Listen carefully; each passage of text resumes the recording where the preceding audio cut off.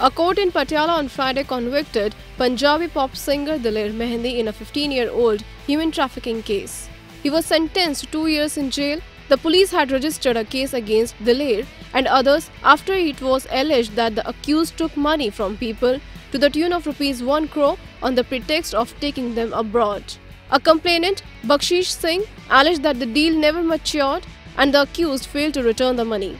The case was registered in 2003 in Patiala Daler was subsequently arrested and released on bail after a few days. IANS report.